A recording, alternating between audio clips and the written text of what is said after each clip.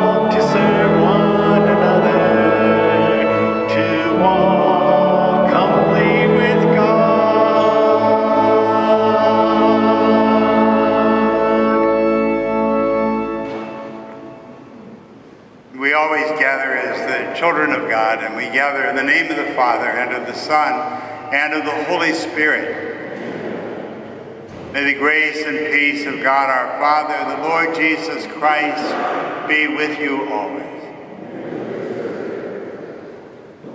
As a people on this journey to live as Jesus lived, uh, we are reminded that we have a great, forgiving, and compassionate God who at the same time challenges us to follow his way.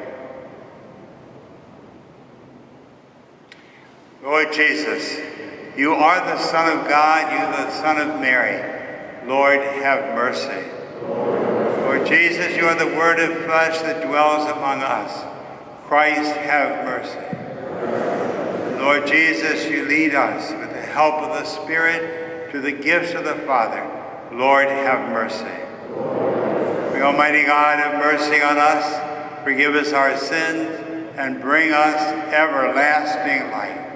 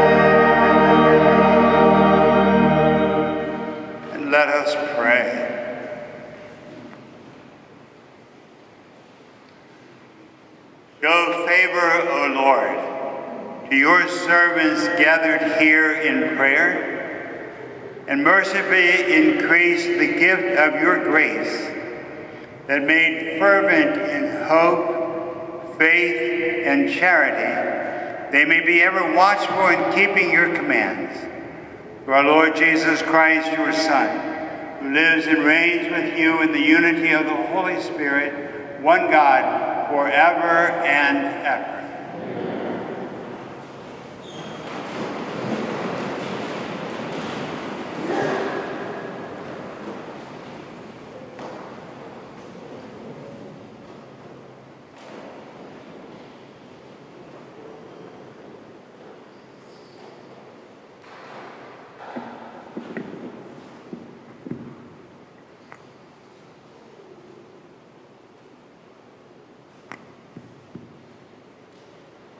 Reading from the Book of Wisdom. There is no God besides you who have the care of all, that you need show you have not unjustly condemned. For your might is the source of justice. Your mastery over all things makes you lenient to all. For you show your might when the perfection of your power is disbelieved. And in those who know you, you rebuke temerity.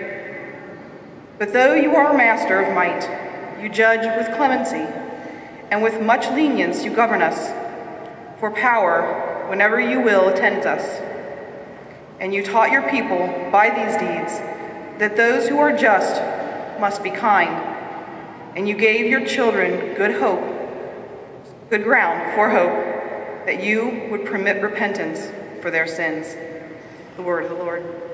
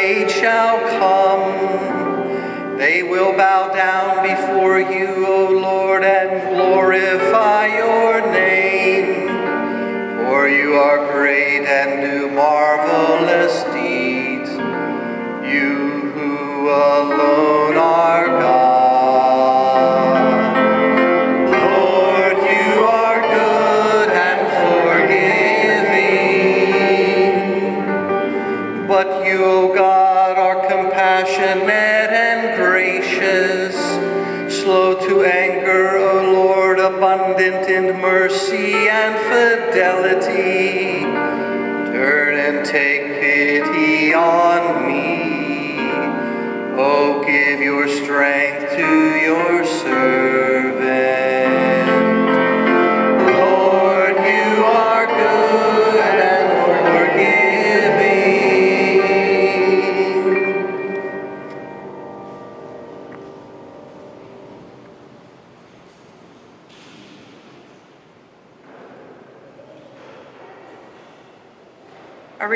Letter of St. Paul to the Romans.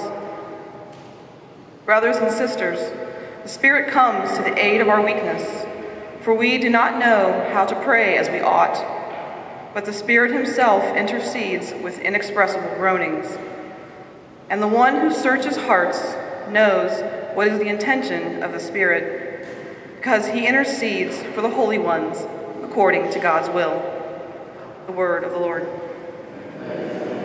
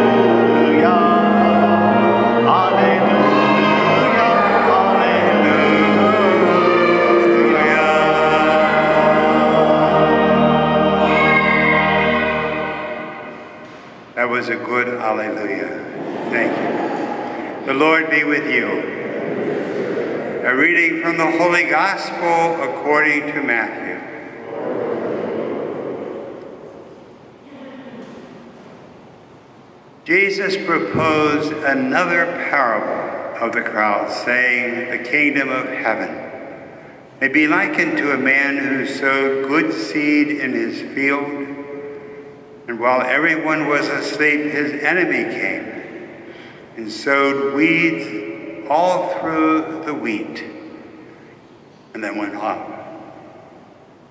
When the crop grew and bore fruit, the weeds appeared as well.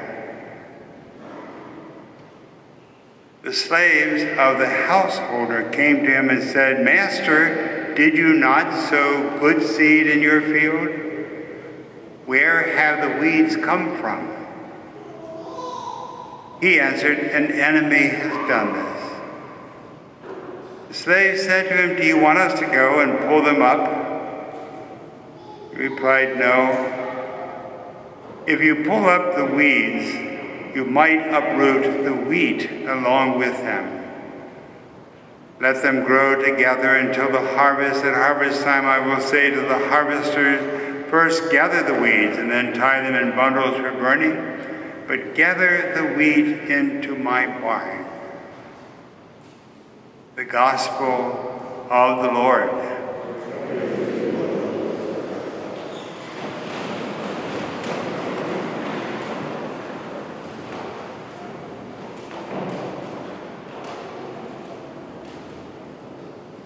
Question one How could God be lenient and patient with weeds with us? And it's actually because God is powerful that God can decide to be lenient. Like Cadillac in power, but a Volkswagen engine and determination to get his way. Each of us could be a little more lenient as well with the weeds that are in others and the weeds that are in us. Maybe follow the example of God, draw on the strength. The gospel today continues from last week, the sowing of seeds, the parable of the sower. Divine wisdom, now present in Jesus, continues to teach anyone who would listen. So he is speaking about God, the householder who only sows good seed. And he is trying to explain why is there mixed results. And I think the parable makes two points. Firstly, that an enemy is responsible for the weeds, not God. Secondly, the householder will deal with weeds at the end. With many of the complex issues that we see, and I'm not just talking politically, I'm talking about things in church or daily life or family issues, COVID 19, all the different things that we face, it's sometimes very difficult to discern weeds from wheat. On the two issues named, uh, that we could name in our hearts, good people of faith here gathered can hold different viewpoints on what we should do, what the government could do, what the church should do, what our family should do. And maybe that's quite okay.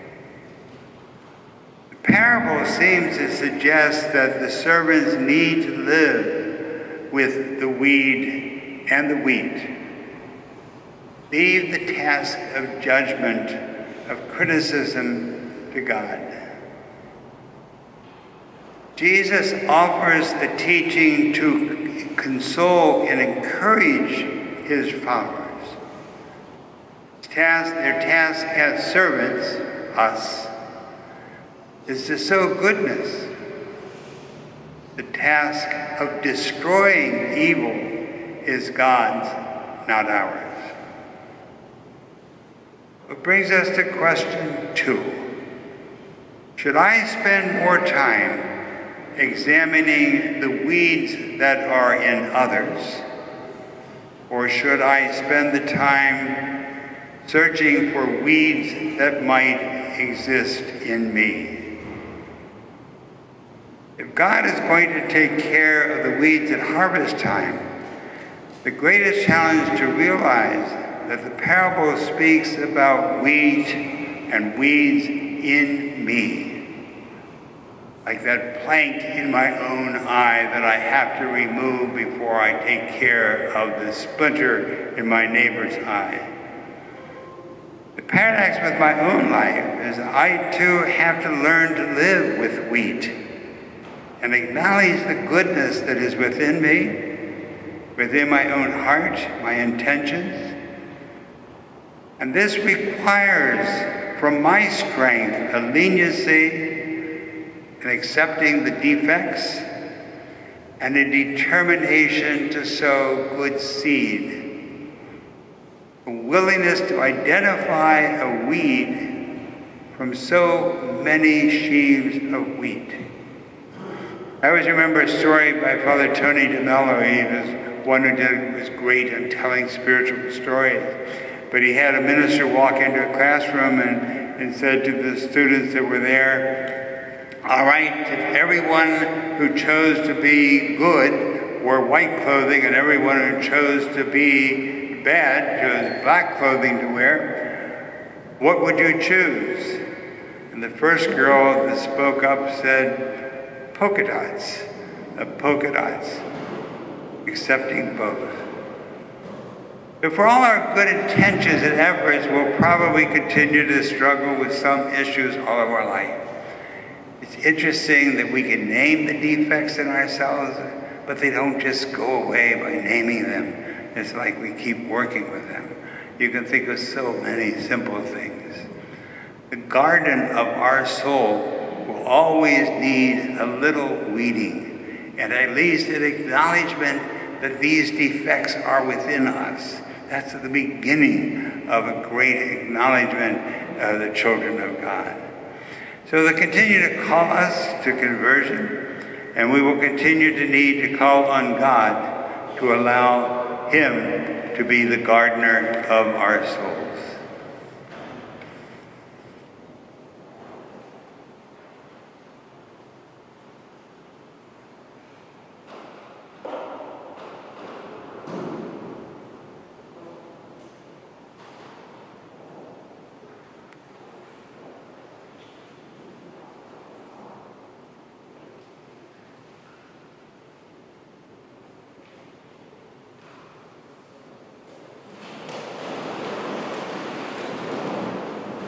May we profess our faith with the Apostles' Creed. I believe in God, the Father Almighty, creator of heaven and earth, and in Jesus Christ, his only Son, our Lord, who was conceived by the Holy Spirit, born of the Virgin Mary, suffered under Pontius Pilate, was crucified, died, and was buried. He descended into hell. On the third day, he rose again from the dead. He ascended into heaven and is seated at the right hand of God, the Father Almighty. From there he will come to judge the living and the dead. I believe in the Holy Spirit, the Holy Catholic Church, the communion of saints, the forgiveness of sins, the resurrection of the body, and life everlasting. Amen. The people of prayer, we bring our intercessions, the concerns we have for ourselves and for our family, we offer them.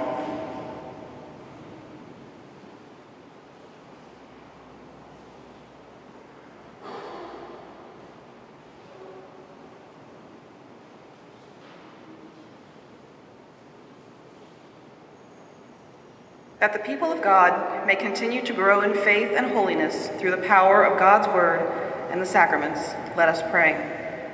Lord, hear our prayer. For the safety of our military, police, and firefighters, let us pray. Lord, hear our prayer. For the pastoral region of St. Teresa and St. William, may we continue to grow in strength as a community to better serve the Lord. Let us pray. Lord, hear our prayer. That God's patience and kindness may enrich and inspire the love we share within our families and communities. Let us pray. Lord, hear our prayer. That those who have died may soon feast at the heavenly banquet of our Lord. Let us pray. Lord, hear our prayer. For the repose of the soul of Judy Daverin, whose funeral mass will be Wednesday at 2 o'clock, let us pray. Lord, hear our prayer. For Charles and Carol Reddick, for whom this Mass is offered, let us pray. Lord, hear our prayer. We offer these through Christ our Lord.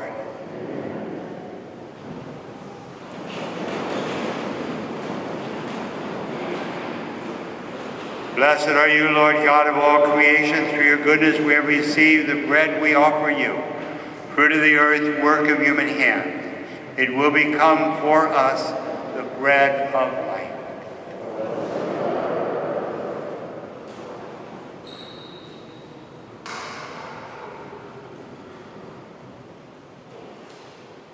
Blessed are you, Lord God of all creation. Through your goodness we have received the wine we offer you, the fruit of the vine, work of human hand. It will become our spiritual drink.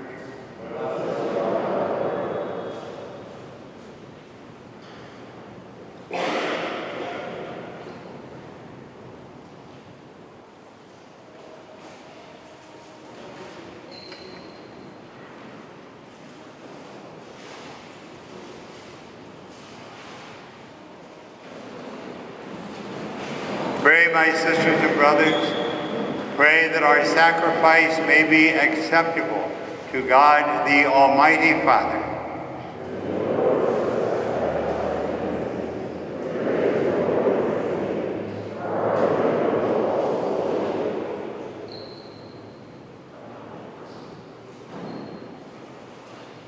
O God, who in the one perfect sacrifice brought to completion varied offering of the law, accept, we pray, this sacrifice from your faithful servants, and make it holy, as you bless the gifts of Abel, so that what each has offered to the honor of your majesty may benefit the salvation of all, through Christ our Lord.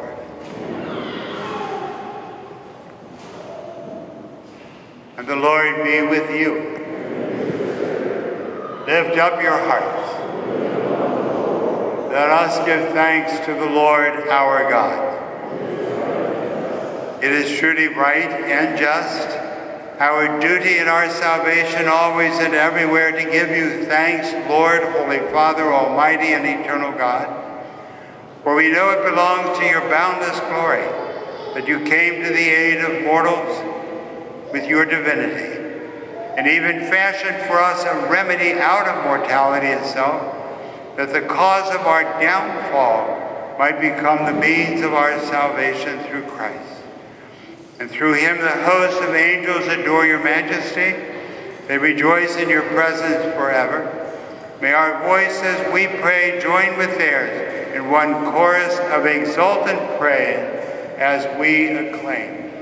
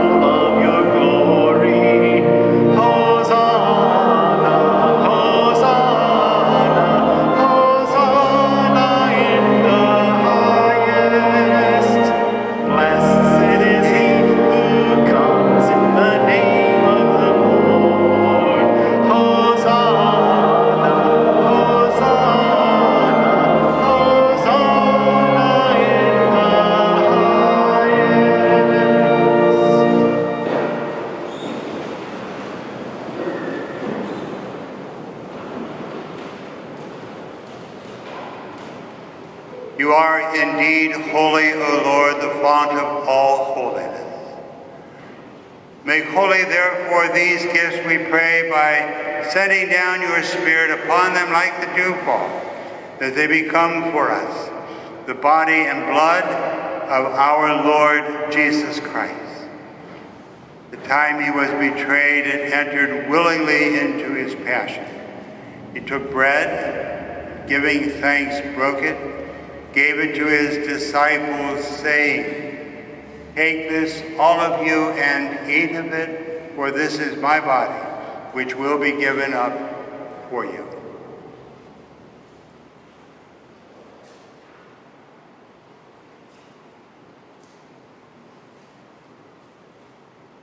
In a similar way, when supper was ended, he took the chalice and once more giving thanks, he gave it to his disciples, saying, Take this, all of you, and drink from it, for this is the chalice of my blood, the blood of the new and eternal covenant, which will be poured out for you and for many for the forgiveness of sins. Do this in memory of me.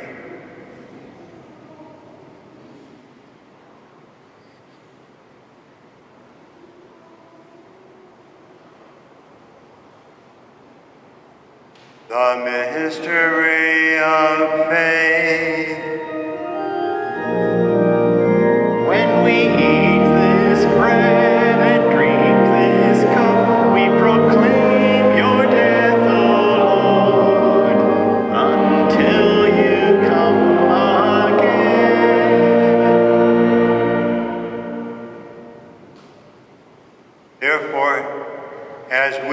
Celebrate the memorial of his death and resurrection, we offer you, Lord, the bread of life and the chalice of salvation, giving thanks that you have held us worthy to be in your presence and minister to you. So humbly we pray that partaking of the body and blood of Christ, we may be gathered into one by the Holy Spirit. And remember, Lord, your church spread throughout the world. Bring her to the fullness of charity. With Francis our Pope, Dennis and Joseph our bishops, your clergy, and all your sons and daughters. Remember also our brothers and sisters who have fallen asleep in the hope of the resurrection. We remember the many who have died from COVID-19 men and women who died in the service of our country, men and women who died in the service of the gospel. All who have died in your mercy, welcome them into the light of your face. And have mercy on us all, we, we pray.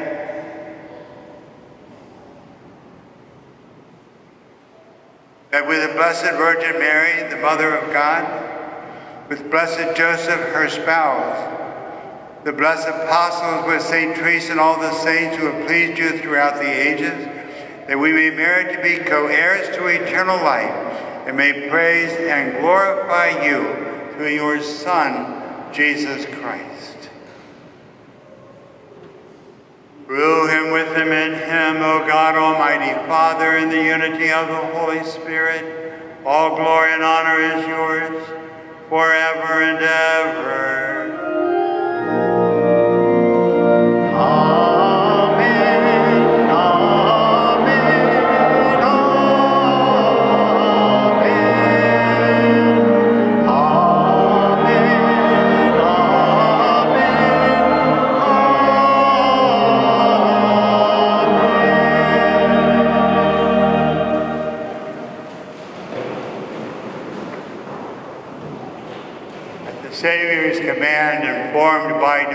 Teaching, we dare to say,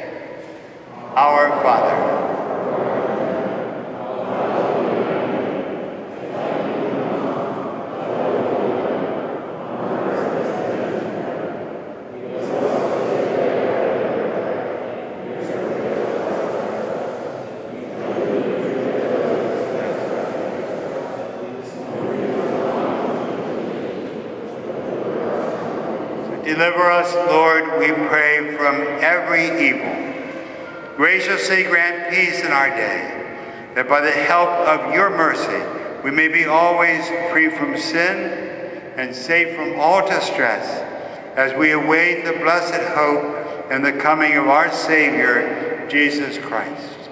For the kingdom and the power and the glory are yours. Lord Jesus Christ, who said to your apostles, Peace I leave you, my peace I give you, look not on our sins, but on the faith of your church, and graciously grant her peace and unity in accordance with your will, who live and reign forever and ever. And the peace of the Lord be with you always. Let us be a sign of God's peace to one another.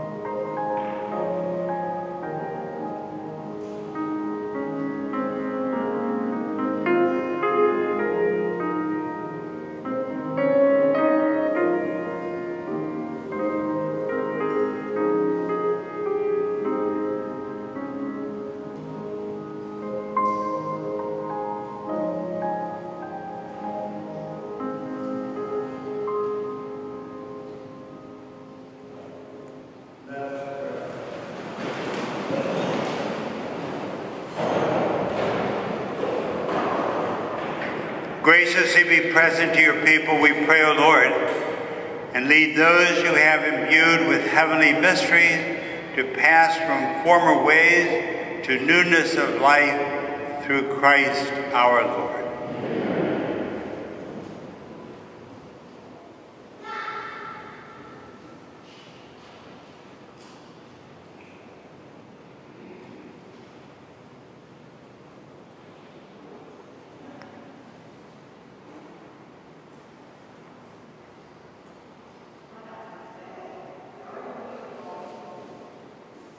That would help. Just one announcement. We're in need of volunteers to help at bingo one Tuesday per month. There are quite a few different areas to help with. Please call the parish office if you can help. Thank you.